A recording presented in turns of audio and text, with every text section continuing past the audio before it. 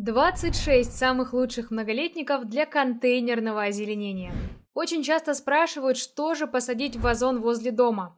Давайте определимся с тем, что из многолетников будем сажать, и плюс я дам примеры композиций с ними. Важно не только подобрать ассортимент, но и знать, из какого материала лучше контейнер выбрать и куда их деть в холодную зиму, чтобы не погубить морозами. Все расскажу прямо сейчас как правильно ухаживать за растениями и про способы зимовки и сохранения растений на следующий сезон. Ставьте лайк, подписывайтесь и нажимайте колокольчик. Для начала давайте разберемся, зачем же выращивают многолетники в контейнерах. Можно же их и высаживать на участок, ведь это многолетники.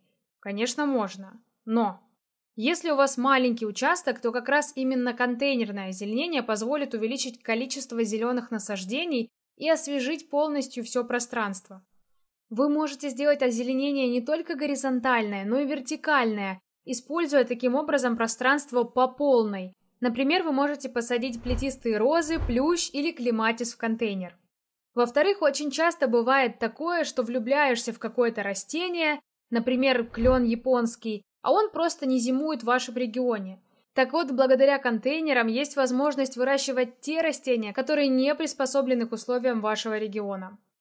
Также вы можете посадить растения там, где нет открытого грунта. Например, у вас бетонная площадка, парковка, лестница, терраса или другие зоны участка. Также растениями в контейнерах можно отлично делать зонирование. Плюс вы можете менять местами вазоны и создавать, конечно же, новые композиции и менять настроение на участке. Конечно же, вы можете подчеркнуть выгодный стиль дома или скрыть неприглядные места. И один из самых приятных бонусов, я считаю, это то, что в контейнеры можно высадить агрессоры, которые дают поросль, но выглядят очень эффектно. О них я тоже расскажу чуть-чуть позже. Когда вы выбираете материал для контейнера, обязательно учитывайте, какие растения будете в нем выращивать. Самыми популярными материалами считаются керамика, пластик, бетон и дерево. Сейчас чуть подробнее о каждом из них и о их плюсах и минусах.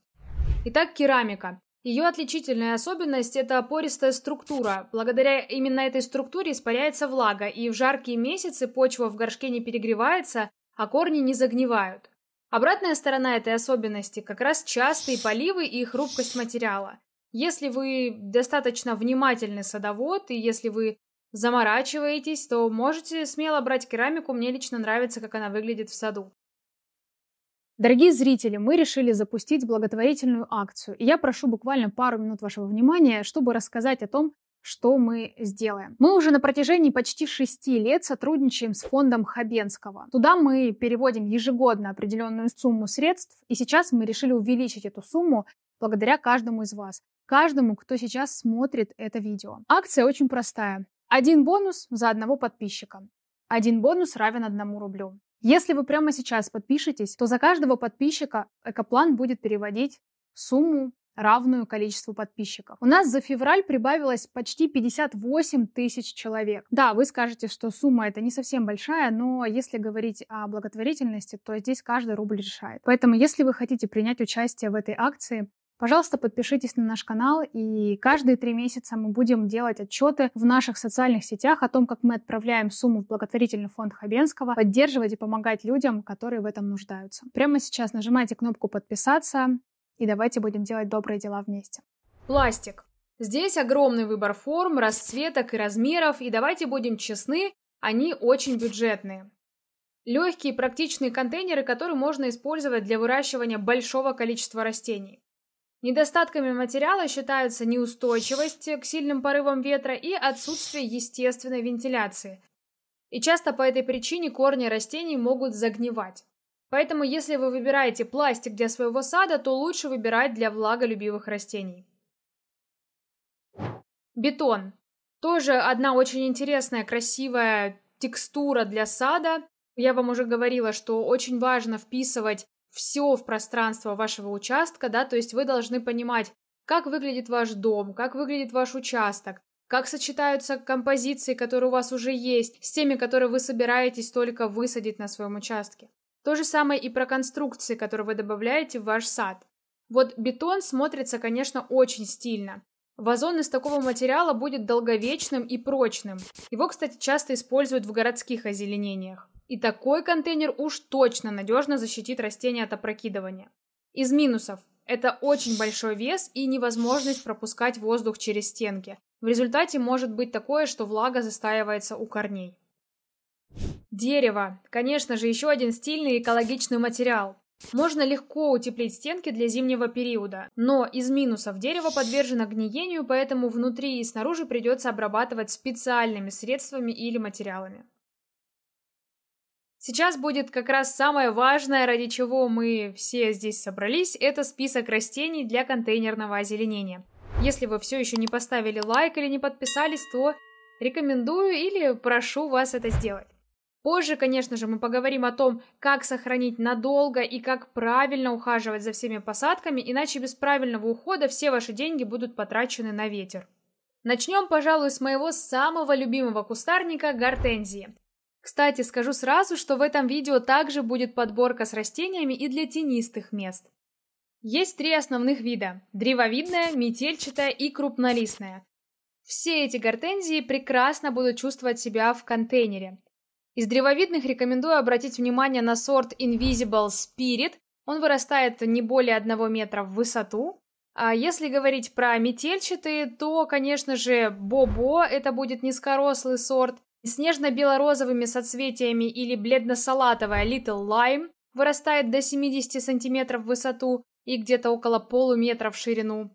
Также можно высаживать в большие контейнеры гортензию сорта Pastel Green. Очень ее люблю, это прям новинка селекции 2016 года. Вообще у нас на канале есть большое видео про гортензии с подборкой низкорослых и высокорослых сортов, рекомендую его посмотреть. Оно будет по ссылке под этим видео, либо вот в правом верхнем углу э, я также оставлю ссылочку, можете посмотреть после просмотра этого видео. Конечно же, для контейнеров просто мега тренд это злаки. Во-первых, они смотрятся очень изящно, во-вторых, они дают отличные вертикали. Для этой цели отлично подойдет веник остроцветковый, сорт с зелеными листьями Карл Фуэрстер, с белополосатыми Овердам и Аваланж. Веники устойчивы в зоне четвертой по USDA. Они отрастают рано весной и уже в июле представляют собой стройные снопы соцветий. На солнечной террасе требуется хороший полив, так как веник не терпит засуху. Он будет отлично расти в полутени на террасах с восточным и западным расположением или на северных балконах. Знаете, есть такое выражение «кто первым встал, того и тапки». Так вот, я хочу, чтобы вам всегда доставались тапки, потому что вы первые, кто узнаете о самых актуальных акциях, скидках и новинках в Экопланте. Я вам сейчас расскажу, что у нас запустилась акция, и мы снижаем цены на самое популярное дерево сезона. Я говорю, конечно же, про тую. Сейчас все туи дешевле до 40% в Экопланте. Успейте купить самые пышные зеленые туи на свой участок со скидкой до 40% прямо по ссылке под этим видео. Переходите прямо сейчас. Шикарный декоративный злак, который красиво смотрится в крупных уличных кашпо, овсянница.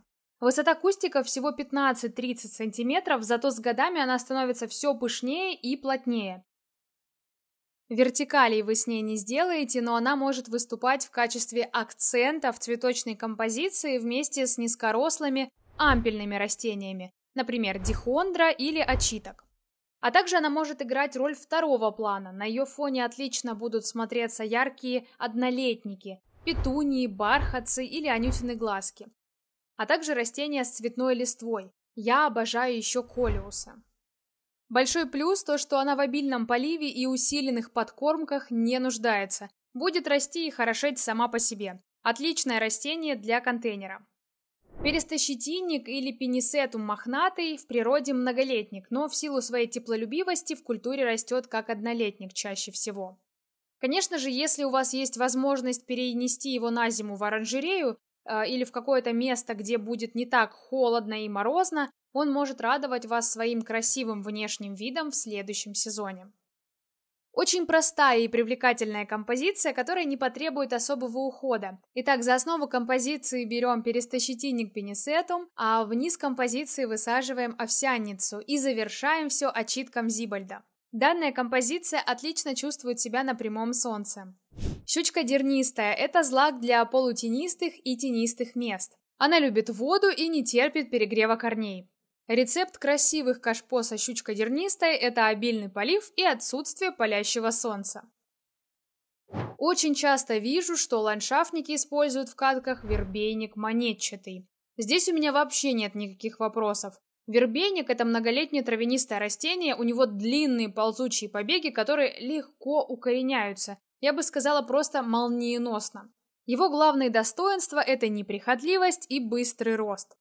Листья у него круглые, зеленой окраски, и цветет он желтыми соцветиями. Вербеник отлично сажать в высокий кашпо, потому что его длинные свисающие стебли выглядят очень эффектно. Берите себе на заметку. Конечно же, в кашпо высаживайте розы. Селекционеры позаботились о том, чтобы вывести специальные миниатюрные сорта, которые подходят для посадки в вазоны и кашпо. Это розы патио, бордюрные, почвопокровные, чайно-гибридные и некоторые сорта группы флорибунда. Хорошо зарекомендовали себя красиво цветущие сорта роз для контейнеров следующие. Чили Клементин, White Baby Floor, Sugar Baby, Мандарин, Хобби, The Fairy, Yellow Clementine, Lavender Ice и Honey Milk. Контейнеры для роз могут быть узкие, но они должны быть глубокие. Это самое важное правило. И еще что очень хочу вам сказать, то что нужно обеспечить правильный полив. Если у вас горшок небольшой по объему, а надземная часть значительно больше, то, возможно, вам придется поливать и два раза в день. Обязательно обращаю ваше внимание на наличие отверстия для дренажа и, конечно же, при посадке засыпайте на дно керамзит.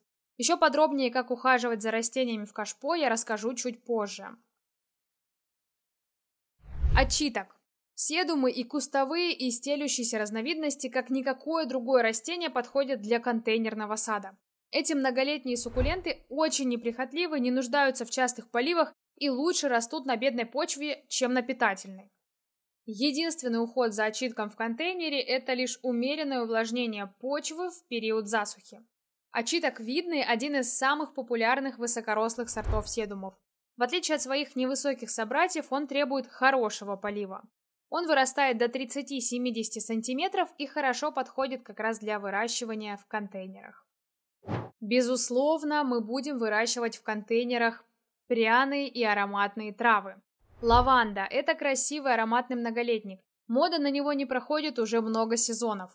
Лаванда прекрасно смотрится в уличных кашпо летом. Эта культура любит солнце и не нуждается в частом поливе. Можете вообще не переживать, что она засохнет под жарким летним солнцем.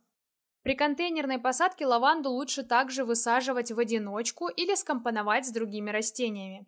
Самое главное – это соблюдать принцип схожести агротехники, и тогда композиция будет радовать вас яркими красками не один год. Очень необычно будет смотреться лаванда Нана Альба, у нее соцветие белого цвета. Вообще, кстати, касаемо агротехники выращивания, здесь не только к лаванде имеет это отношение, а вообще ко всем композициям в саду. Если вы высаживаете растения вместе в одну композицию, то смотрите, как они уживаются друг с другом. Это очень важно. Шалфей. Это не только лекарственное, но и декоративное растение. Род насчитывает множество видов, которые отличаются друг от друга формой листьев, окраской соцветий и размерами. Для горшечного сада отлично подойдут шалфей лекарственный и шалфей мускатный. Их можно высаживать поодиночке, либо вместе с другими растениями в крупных контейнерах. Вереск. Он цветет нежными лиловыми, розовыми или белыми соцветиями, достигает высоту максимум 50 см, что делает его идеальным кандидатом на выращивание в контейнерах или кашпо. Вереск отлично выглядит поодиночке, а также может составить компанию другим растениям, которые предпочитают кислый грунт. Гармоничная композиция получится из вереска в сочетании с карликовыми сортами хвойных, низкорослой гортензией и папоротником. Вереск устойчив к высоким и низким температурам, практически не болеет и не требует особого ухода. Прекрасный вариант для дачников выходного дня. Еще очень красивые вертикали можно задать с помощью дельфиниума. Большинство выносливые многолетники, но бывают также однолетние и двулетние сорта. Имеют очень высокие цветоносы и крупные эффектные соцветия на верхушке стебля. Они собраны в длинные гроздья длиной до 100 сантиметров. Цветы обычно синие, фиолетовые, белые, розовые, бывают также двухцветные и с махровыми цветками. Сроки цветения с июня по июль. В тенистые места смело можно высаживать папоротники, хосты и астильбы. Шикарно будет смотреться композиция из папоротников и дихондры. Папоротник раскидывает свои побеги вверх, а дихондра будто стекает каплями вниз. Кстати, дихондру можно использовать как однолетник или сохранять зимой и черенковать ближе к весне. Хоста еще одна любимица ландшафтных дизайнеров. Эта непривередливая красавица украсит своей богатой листвой даже самый тенистый уголок сада. Главное запомните одно правило. Чем темнее окраска хосты, тем менее она требовательна к освещению. Бадан приживается как на освещенных участках, так и в тени. Но лучше выбирать для него место с хорошим рассеянным светом на восточной или западной стороне участка. В таком случае бадан отблагодарит вас продолжительным цветением, а может быть даже и повторно зацветет осенью. Композиции из бадана можно добавить очиток и карликовый сорт можжевельника, а завершить это все можно мхом и камнями. Не менее красивая в кашпо, но обычно растущая как сорняк, будра плющевидная. При выращивании в горшке она ведет себя как ампельное растение, выпуская длинные ветви, густо усыпанные листьями. В народе ее называют еще кошачьей мятой за ярко выраженный характерный запах, который так нравится всем кошкам. По декоративным характеристикам я могу выделить будру плющевидную вариегата. Хочу напомнить, что все вариегатные растения имеют белые прожилки на листовой пластине. Ее ценят за изящный облик листвы, который как раз и покрыт белой каймой. Разрастаться такой тип будет очень быстро. В большинстве случаев высота достигает всего 15-20 сантиметров. Дорогие садоводы, хотите заглянуть на участки к знаменитостям? Мы собрали для вас топ-лист растений, которые растут у них в садах. Получить его можно бесплатно прямо по ссылке под этим видео. А еще бонусом будет календарь цветения 20 кустарников. Скачивайте по ссылке в описании. Все мы привыкли видеть в кашпо кустарники и цветы, но очень эффектно в кашпо смотрятся, конечно же, деревья. Невероятно смотрится в кашпо возле дома клен дланевидный, он же веерный, он же пальмолистный. Сразу хочу оговориться, что японские клены теплолюбивы и для зоны зимостойкости четвертой они слабо пригодны.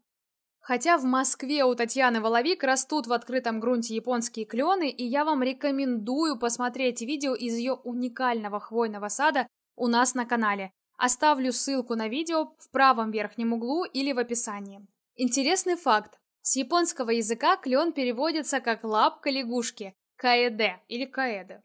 Не знаю, напишите в комментариях. В связи с тем, что эти клены растут очень медленно, их стало модно выращивать в качестве растений в кашпо. Они любят кислый грунт, и его родными соседями являются рододендроны и гортензии. Условия произрастания у них не идентичны, но во многом схожи. Самой большой популярностью пользуется клен дланевидный Атрапурпуреум. И еще очень хорошо себя зарекомендовали сорта Little Princess и Бенни Майка. Еще из необычного я бы порекомендовала высадить декоративную яблоню с ярко-розовым цветением, иргула марка или березу. Из хвойных вы также можете посадить в кашпо туи, сосны горные и можжевельники. Если вы хотите подробное видео на тему того, какие конкретно хвойные деревья и кустарники посадить в кашпо, то пишите в комментариях, мы обязательно запишем это видео. И, кстати, еще хотела сказать по поводу однолетников. Если тоже нужно вам видео, пишите в комментариях. Из плодовых кустарников отлично будут чувствовать себя в кашпо ирга, жимолость, смородина, ежевика, арония, голубика и малина. Тут, кстати, обращаю ваше внимание, что плодовые кустарники, например, ежевика и малина, они дают очень много поросли и часто являются агрессорами, поэтому для выращивания в кашпо будет просто отлично. Теперь переходим к одному из самых важных пунктов – это уход. Самая большая и распространенная ошибка в контейнерном озеленении, которую допускают садоводы, это частая подкормка удобрениями с высоким содержанием азота. Такие растения, перекормленные, будут подмерзать зимой. Сейчас я расскажу, какой уход необходим растениям в контейнерах. Конечно же, это полив. Поскольку контейнеры больше подвержены воздействию солнца и ветра, они имеют тенденцию высыхать быстрее. Особенно в самые жаркие дни лета многие растения, которые вы выращиваете в горшках, приходится поливать по два раза в день. Контейнеры можно поливать различными способами, я думаю, что это не открытие, это шланг, лейка или капельный полив. Выбирайте для себя тот способ, который удобен. Единственное, что я вам хочу сказать, что если у вас контейнеры маленькие, ну, горшки маленькие, их много, то, конечно же, о капельном поливе речи не идет. А здесь придется вам либо вооружаться лейками, либо шлангом. Несколько важных советов по поливу. Во-первых, поливайте утром или как можно раньше. Что дает полив в начале дня? Во-первых, он обеспечивает растениям достаточно влаги, чтобы они могли пережить жаркие полуденные часы. Также это гарантирует, что их листья высохнут и к наступлению ночи, потому что если они не высохнут к наступлению ночи, то это может способствовать распространению болезней. Второй важный момент – это поливайте глубоко. Растениям нужна вода у корней, поэтому просто опрыскивать поверхность почвы из шланга недостаточно. Полейте растения глубоко и тщательно, чтобы вода доходила до корней. После полива почва должна быть насыщена влагой, а вода должна стекать по дну горшка. Другие важные моменты, о которых следует помнить, это размер горшка и погода. Маленькие горшки высыхают гораздо быстрее, чем большие, и поэтому требуют более частого полива. В жару поливайте чаще и обращайте внимание на скорость высыхания почвы в контейнере. И теперь важный момент, как же подготовить растения к зимовке. Прямо сейчас я расскажу 4 разных метода, как сохранить многолетники в контейнерах на зиму. Если вы проживаете в регионе с холодным климатом, то необходимо будет тщательно выбирать растения, которые вы оставите на открытом воздухе. Вы должны понимать, что даже если выносливые эти растения в вашей зоне, то многолетники в контейнерах будут чувствовать себя гораздо сложнее и гораздо хуже, чем те, которые высажены в открытый грунт. Итак, первое, куда можно перенести растения, это хранить их дома или в зимнем саду. Если вы выращиваете растения из тропиков в контейнерах, то на время зимы их нужно будет перенести в теплые условия и ухаживать как за комнатными. Если же посаженные растения из регионов с умеренным климатом, то нужно их хранить в непромерзаемом помещении. После того, как растения перейдут в состояние покоя, что это значит? У травянистых многолетников отмирает надземная часть, а древесно-лиственные сбрасывают листву. Их нужно полить и переместить горшки в прохладный подвал или утепленный гараж. Температура в этих помещениях должна быть в пределах от 0 до 7 градусов. Обязательно проверяйте ваши растения и поливайте их по мере необходимости, обычно раз в месяц. Не нужно допускать полного пересыхания грунта в горшке. Когда уже весной начнут набухать почки, перенесите горшки в светлое место, например, на утепленную веранду или балкон. С потеплением вынесите контейнеры на открытый воздух. Еще один вариант – вкапывайте контейнеры в почву. Для небольших кустарников и травянистых многолетников дождитесь первых сильных заморозков. После этого прикопайте растения в землю, наклонив горшок, чтобы вода от дождя и тания снега стекала. Сверху замульчируйте торфом или листовым опадом. Весной, когда потеплеет, переместите горшок из укрытия на прежнее место и хорошенько полейте его. Еще один метод – группировка и утепление контейнеров. В случае, когда нет возможности перенести контейнеры в непромерзаемое помещение или прикопать, обязательно утеплите горшок с внешней стороны. Как пример, один из способов. Поставьте горшок в картонную коробку и заполните пространство между ней и горшком сеном, пенопластом или сухой листвой. Это вам поможет обеспечить теплоизоляцию. Если у вас, например, несколько контейнеров с растениями, то сгруппируйте их в защищенном от сильного ветра и яркого солнца месте. После того, как растения перейдут в состояние покоя, оберните горшки пузырчатой пленкой, чтобы изолировать почву от перепадов температуры. Если вам понравилось это видео, были полезны советы, обязательно ставьте лайк, пишите комментарий, подписывайтесь на канал и пересылайте видео подружкам. А я с вами прощаюсь, до новых встреч!